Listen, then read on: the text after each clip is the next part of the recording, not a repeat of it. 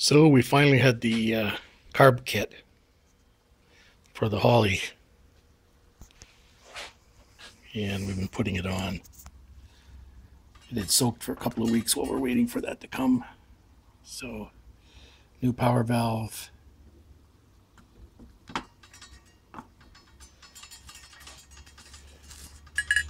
New needle and seat. So adjusted basically the way the other one was. Accelerator pump replacement. And so that's where we are right at the moment. Till we can get this back on the international engine. We can't quite say what it looks like, but I mean, it's so close. It's too bad that that those it's off by a quarter of an inch the other way, but it'll work. Yeah. It'll work. Inside. Thank you very much for coming. Yeah. Good to see you.